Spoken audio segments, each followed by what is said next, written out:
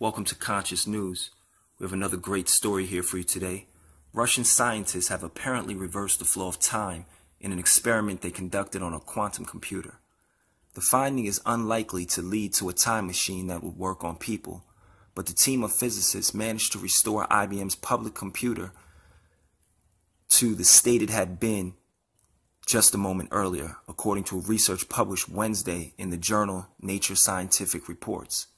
A nuanced result, but one that could have striking implications for the future of computing, quantum physics, and our understanding of time itself.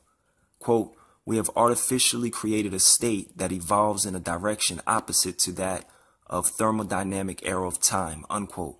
Gordey Lesovik, a quantum physicist from the Moscow Institute of Physics and Technology, who led the research project, said in a university published press release.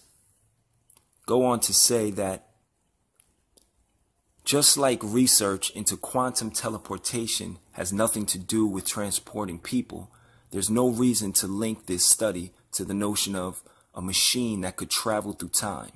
Rather, the scientists hope that their work can help a quantum computer scientists make sure their software is actually doing what it's supposed to by kicking it back through time and double checking its work. Now that sounds good.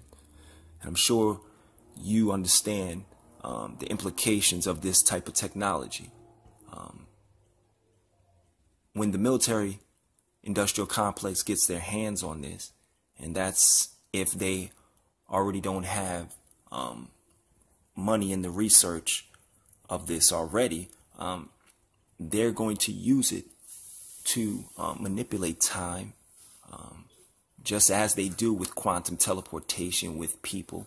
Um, why else would you want to teleport except to move things?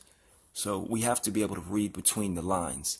Um, just thought I'd bring this story to you today and um, just make us look at the reality as we know it um, differently because things are changing. We are in the age of quantum computers. Um, thank you for tuning in, and this has been another episode of Konscious News. Stay tuned.